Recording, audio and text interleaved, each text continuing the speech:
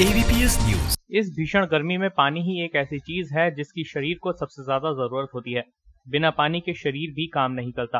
साथ ही पानी की कमी से शरीर में कई समस्याएँ भी पैदा हो जाती हैं।